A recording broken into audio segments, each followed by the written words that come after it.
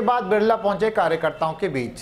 बड़वा विधानसभा चुनाव के परिणाम आने के बाद नवनिर्वाचित कांग्रेस विधायक सचिन बिरला विधानसभा के बड़वा, बेड़िया और सनावत पहुँचे, जहाँ पर कार्यकर्ताओं ने गर्मजोशी से बिरला का स्वागत किया एवं फूलमाला और आतिशबाजी करते हुए कार्यकर्ता कांग्रेस जिंदाबाद के नारे लगा रहे थे। तीनों स्थानों पर कांग्रेस कार्यालय में बिरला ने कांग्रेस कार्यकर्ताओं से मिलकर आभार व्यक्त किया। इस दौरान कांग्रेस कार्यकर्ता उत्साह और जोश से सरोबार नज़र आए। इस दौरान बिरला ने मंदिर में पहुंचकर पूजन अर्चन भी किया। बिरला ने तीन बार से विधायक हितेंद्र सिंह सोलंकी को करीब तीस हज़ार अधिक मतों से हराया। सनावत से ग्राउंड रिपोर्टर विवेक सत्यार्थी की रिपोर्ट।